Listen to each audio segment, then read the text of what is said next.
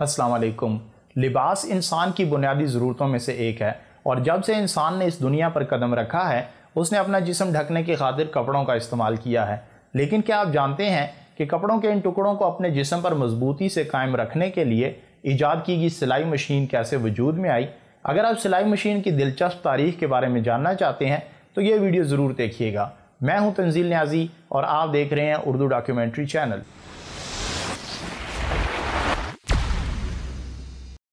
انسلے کپڑے کو جسم پر ایک مناسب انداز میں رکھنے کے لیے، ابتدا میں سوئی کے لیے ہڈیوں اور دھاگے کے لیے جانوروں کی رگوں کا استعمال کیا جاتا تھا۔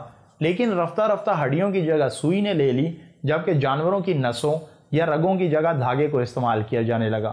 اور پھر جب دنیا میں باقاعدہ طور پر سلائی مشین کو استعمال کیا جانے لگا، تو اس نے کلودنگ انڈسٹری کو یکسر بدل کر رکھ دیا، جس کی مد میں سالانہ دنیا بھر میں اربوں ڈالر ریونیو اکٹھا کیا جاتا ہے۔ اگر آپ اس طرح کی مزید معلوماتی ویڈیوز بھی دیکھنا چاہتے ہیں، تو اردو ڈاکیومنٹری چینل کو سبسکرائب کر کے بیل آئیکن کو ضرور دبا دیجیے۔ دنیا کی پہلی سلائی مشین کس نے ایجاد کی، اس حوالے سے تاریخ میں کافی تضاد پایا جاتا ہے۔ سلائی مشین کا پہلا پیٹنٹ ایک جرمن شخص چارلز ویزنتھال کو سترہ سو پچپن میں دیا گیا تھا۔ چارلز کو جاری کیے گئے اس پیٹنٹ میں ایک ایسی سوئی کا ذکر کیا گیا تھا جو کہ ایک خاص قسم کی مشین میں فکس ہوتی ہے۔ اگرچہ اس پیٹنٹ میں کسی سلائی مشین کا ذکر نہیں کیا گیا، لیکن پھر بھی اکثر لوگ سلائی مشین کی ایجاد کی جانب اسے پہلا قدم مانتے ہیں۔ اسی طرح اکثر لوگ سترہ سو نوے میں ایک انگریز تھامس سینٹ کو جاری کیے جانے والے پیٹنٹ کو سلائی مشین کا پہلا ڈیزائن مانتے ہیں۔ اگرچہ اس نے ایک مکمل سلائی مشین کا بلو پرنٹ پیش کیا تھا، لیکن یہ کوئی نہیں جانتا کہ آیا اس نے ایسی مشین تخلیق کی بھی تھی یا نہیں۔ ابھی تک سلائی مشین کی تخلیق کے حوالے سے جتنا بھی کام ہوا تھا، وہ صرف کاغذوں کی حد تک ہی محدود تھا۔ لیکن دنیا کی پہلی پریکٹیکل سلائی مشین جو کہ ہاتھ کی موومنٹ کو کاپی کرتی تھی، ایک فرینچ درزی اور معجد تھائمونیئر نے ایجاد کی تھی۔ تھائمونیئر نے ایمبرائڈری کی ٹیکنیک کو دیکھتے ہوئے ایک ایسی مشین ایجاد کی جو کہ ایمبرائڈری کی طرز کا ٹانکہ لگاتی تھی۔ اس نے اٹھارہ سو انتیس میں اپنی پہلی سلائی مشین بنائی جو کہ اپنے وقت کی ایک ناقابل یقین پروڈکٹ تھی۔ اس کی یہ مشین ایک منٹ میں دو سو کے قریب ٹانکے لگا سکتی تھی، جبکہ درزی ہاتھ کی مدد سے ایک منٹ میں صرف تیس ٹانکے ہی لگا پاتا تھا۔ اپنے وقت کی اس ایفیشنٹ مشین کو استعمال میں لاتے ہوئے اس نے اپنی ایک کلودنگ کمپنی کی شروعات کی اور اپنی فیکٹری میں ایک سو پچپن کے قریب اپنی تیار کردہ مشینیں رکھیں۔ مختلف چھوٹے موٹے کاموں کے علاوہ، فرینچ آرمی سے اسے بڑے پیمانے پر یونیفارم سینے کا ٹھیکہ بھی ملا۔ لیکن بدقسمتی سے، بیس جنوری اٹھارہ سو اکتیس کو دو سو کے قریب درزیوں نے اس کی فیکٹری پر حلہ بول دیا اور اس کی مشینوں کو توڑ کر باہر پھینک دیا۔ ان مشتعل درزیوں کا یہ ماننا تھا کہ تھائمونیئر ان سے ان کا رزق چھین رہا ہے اور اسی وجہ سے اس کی فیکٹری کو تباہ و برباد کر دیا گیا۔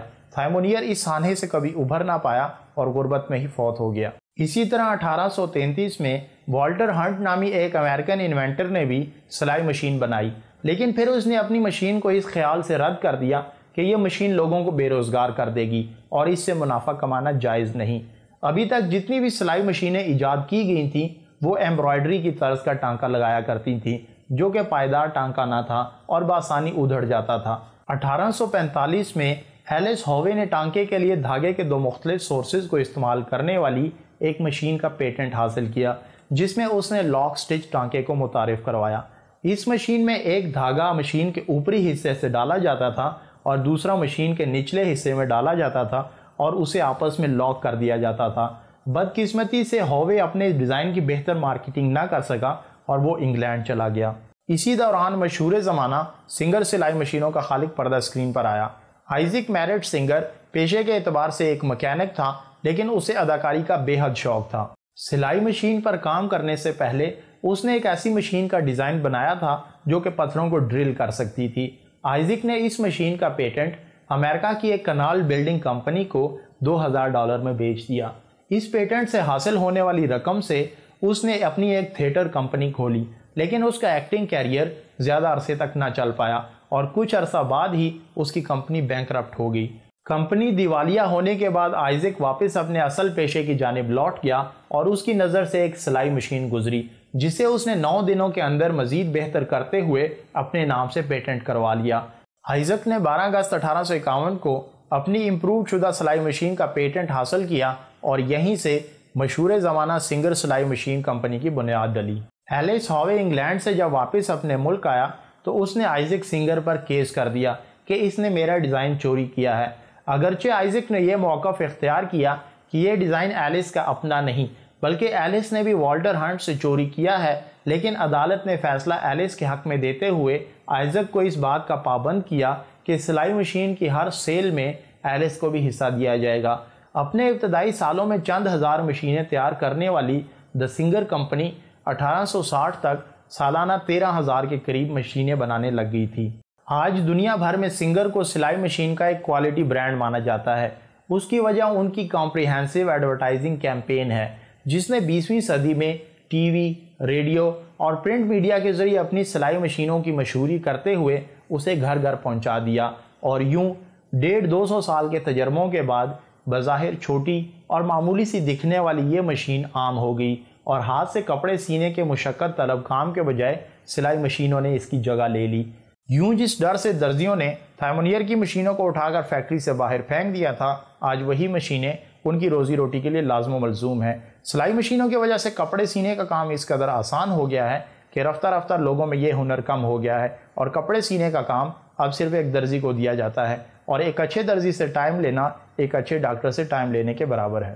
ایک مکینک کے طور پر اپنی روزی روٹی کمانے والا دا سنگر کمپنی کا مالک جب مرا تو وہ ایک کروڑ پتی تھا اور اس کی چودہ ملین کی وراثت کو اس کے بیس بچوں میں تقسیم کیا گیا۔ کئی سالوں کے تجربوں کے بعد سلائی مشین بنانے والی تمام کمپنیاں اپنے صارفین کے لیے ایک یونیورسل ڈیزائن لے کر آنے لگ گئیں تاکہ کپڑوں کی سلائی کے دوران انہیں کسی مشکل کا سامنا نہ کرنا پڑے اور مکینکوں کو بھی مختلف مشینوں پر مہارت حاصل کرنے کے بجائے ایک ہی طریقے سے مشین ٹھیک کرنے کی آسانی حاصل ہو۔ اسی طرح جیسے جیسے ٹیکنالوجی ترقی کرتی چلی گئی، ویسے ہی سلائی مشینوں میں بھی جدت آنے لگی اور پاؤں سے چلائی جانے والی مشین سے لے کر خودکار اور خوبصورت کڑھائی کرنے والی مشینوں نے مارکیٹ میں اپنی جگہ بنانی شروع کر دی۔ کمپیوٹر اور ٹیکنالوجی کے دور میں بظاہر سلائی مشین ایک عام سی شے معلوم ہوتی ہے۔ لیکن میں امید کرتا ہوں کہ یہ ویڈیو دیکھنے کے بعد آپ کو سلائی مشین کی افادیت کا اندازہ ہو گیا ہوگا۔ اگر آپ کو یہ ویڈیو پسند آئی ہے تو اسے لائک کیجیے اور اپنے دوستوں کے ساتھ ضرور شیئر کیجیے۔ اور اسی طرح اگر آپ نے ابھی تک میرے چینل کو سبسکرائب نہیں کیا تو میں آپ سے درخواست کرتا ہوں کہ اس ویڈیو کے نیچے موجود سرخ رنگ کے سبسکرائب بٹن کو دبا کر گھنٹی کے آئیکن کو ضرور دبا دیجیے تاکہ مستقبل میں جب بھی میں کوئی نئی معلوماتی ویڈیو اپلوڈ کروں، آپ کو اس کے بارے میں اطلاع مل سکے۔ مجھے تنزیل نیازی کو فی الحال اجازت دیجیے انشاءاللہ کسی اگلی ویڈیو میں آپ سے ملاقات ہوگی۔ اللہ حافظ۔